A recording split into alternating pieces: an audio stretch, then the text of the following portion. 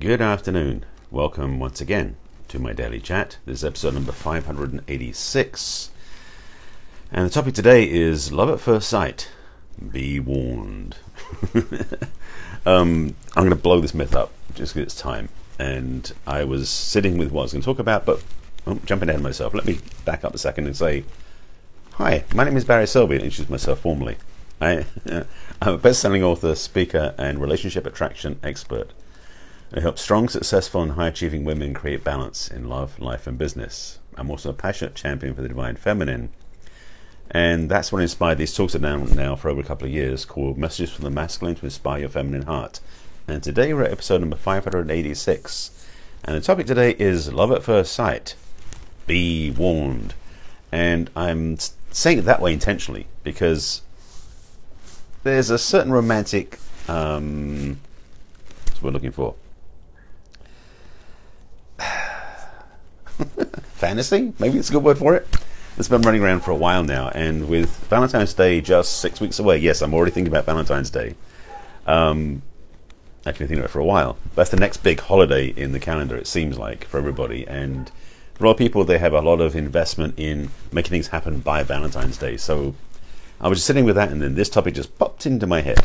So let's talk about it for a second. There is a, there is this um, often talked about.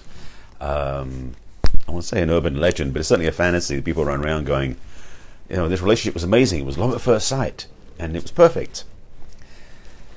You may have heard that before from somebody. I've heard it before from somebody. But I want to say it this way that somebody is probably one in a million. There are many, many, many relationships that started with love at first sight and ended badly.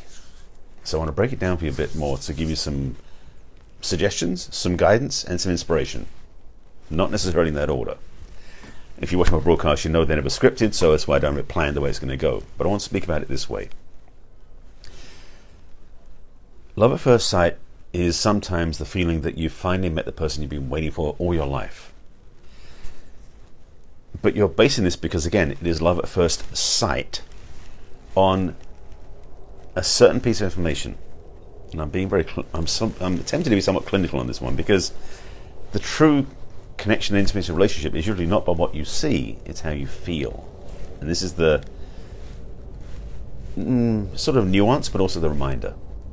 When you meet somebody in life and you look across it, it's like you, your eyes lock across a crowded room and you know it's the one, that sort of um, soap opera, pulp fiction type idea.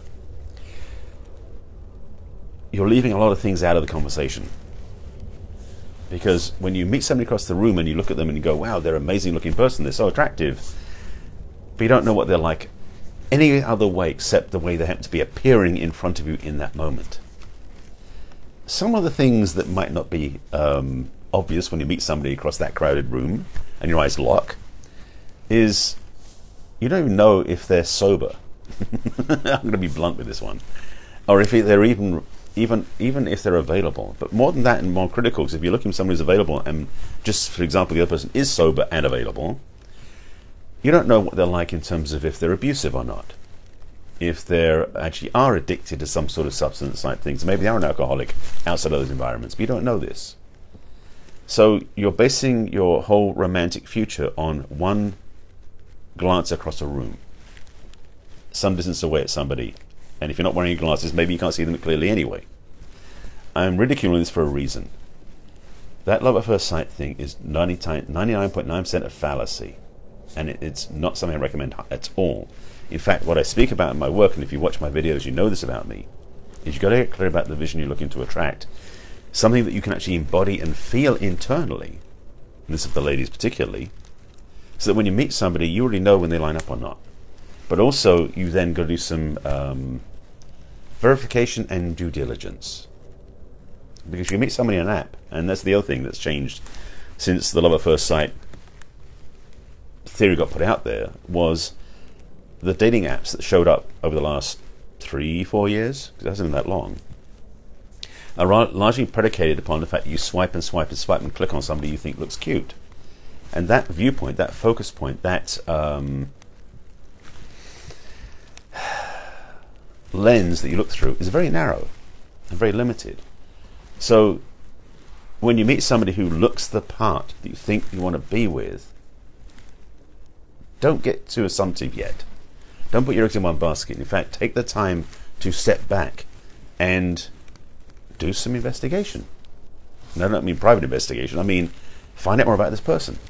Because if you're looking through a dating app lens to see somebody, you're basically looking at somebody where there may be three pictures if you're lucky, and maybe 50 words. Oh, and possibly their age, which may or may not be accurate, where they live city wise, which is really not much information, and possibly their and possibly the age and if they've got kids or not. That's about it. That's not enough to base a, a relationship on, in case you hadn't figured that out. But some of the people I know get caught up in this thing like, oh, they could be the one. It's so exciting. I want to meet this person, and they look so cool from their profile. It's it's not real. What's real is when you get to know somebody and meet them in person. I've I've seen people just on Facebook, and people I know in real life, in real life, in as opposed, as opposed to um, the virtual life of social media. Meeting people whose pictures look so amazing on social media, but when we meet them in real life, they're not like the same person at all. The one thing about Facebook that I like a lot, to be honest, is that you may look at their profile picture and you go, wow, that person is really an attractive person. So I'm leaking out my private information. okay, when I look at people on Facebook, I just check out who they are. But I always like dr- drilling down into their, into their photos, and particularly their videos. And the reason I'm saying this is because for most people, we get caught up in the old billboard looking thing. We see an image and we go fall in love with the image.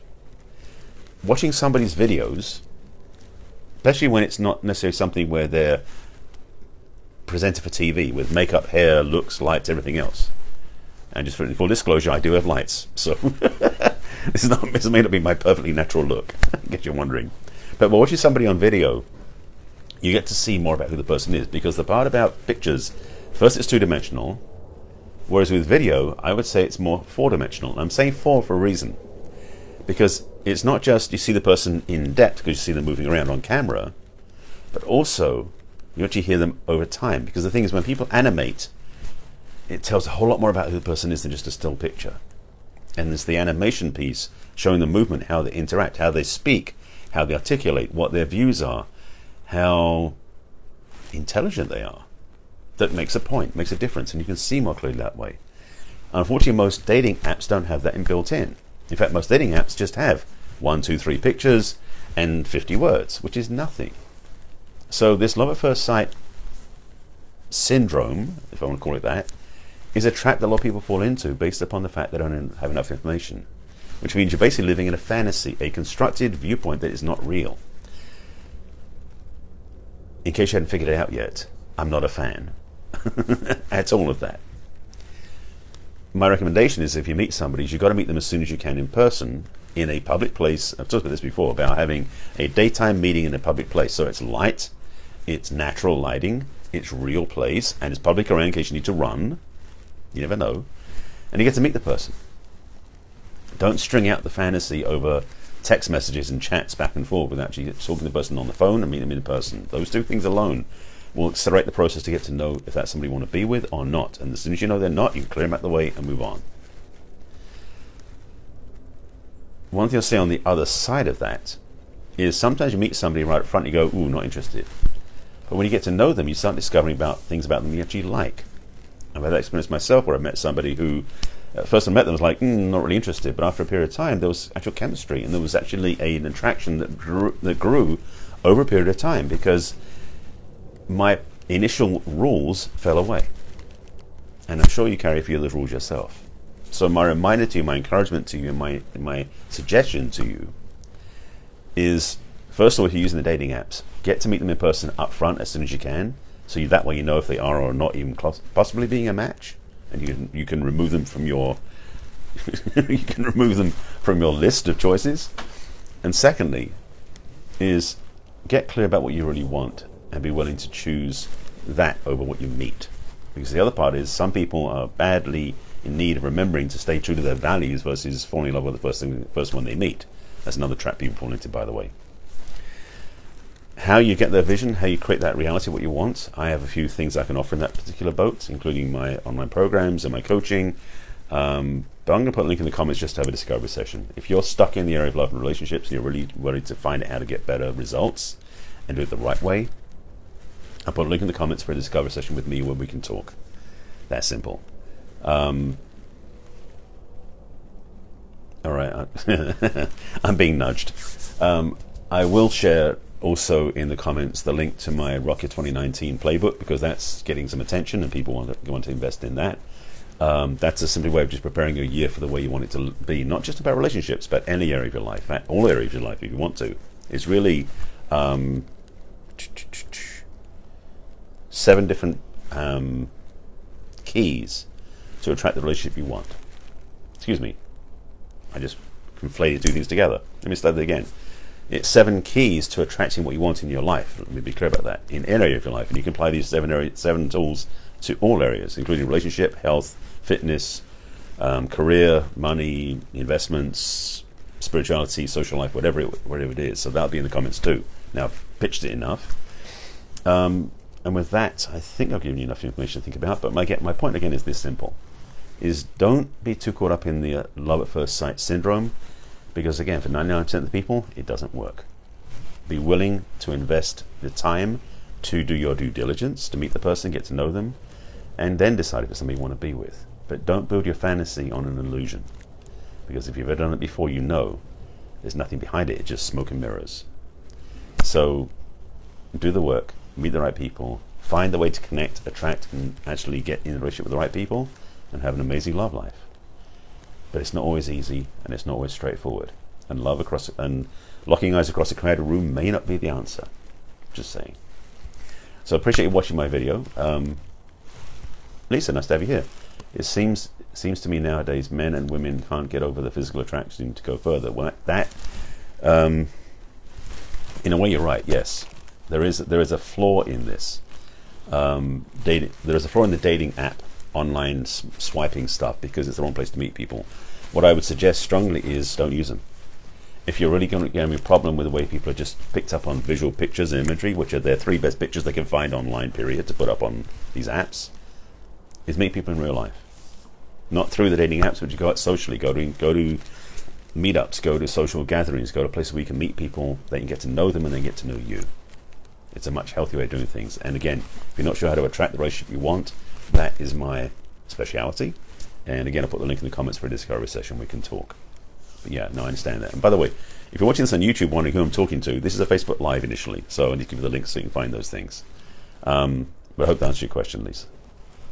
This is one of those things where finding love in the right places starts with finding love inside first. And that's a powerful place to shift to because many people are out there looking for love out there and getting upset and being judging themselves because what's out there isn't matching what they want. That's not true. Loving yourself first, being self-centered and self-supportive is the only place to really start to have love in your life the way you want it.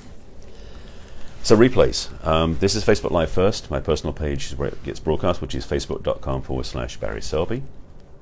All the replays I put onto my business page, and basically that's where everything is. You can say this my personal page has lots of stuff on it. My business page is more centered towards this. So if you look at my business page, you'll see all of these more closely gathered together, which is facebook.com forward slash barryselby.author. Fair enough. If you want to watch my YouTube versions, because I do have them on YouTube as well, I have them all on a playlist called Messages from the Masculine on my YouTube channel, which is Barry Selby. Please subscribe to the channel. And I've also got them on my podcast, which I'm loading up in audio format only. If you want to just listen to one of me when, I'm dri- when you're driving around and that is uh, Messages from the Masculine on iTunes. So with that, thank you for watching. Um, please subscribe to the YouTube and podcast. Um, appreciate that. And if you have any questions, comments, please message me. I'll respond after I sign off to any comments in the broadcast, and I will put the links in there for a discovery session and uh, the Rock Your 2019 playbook because it will help you.